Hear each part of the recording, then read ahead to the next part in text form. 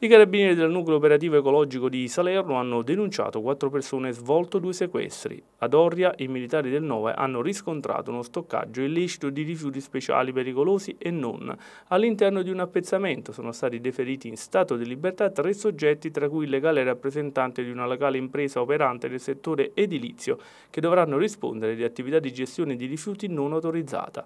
Inoltre hanno sottoposto a sequestro un autocarro e l'appezzamento ubicato in località ex Mattatoio su cui erano stoccati rifiuti speciali. Ad Eboli è stato ispezionato un impianto adibito a rimessa ed autolavaggio, accertando che il responsabile effettuava lo scarico in rete fognaria delle acque reflue industriali in assenza di autorizzazione.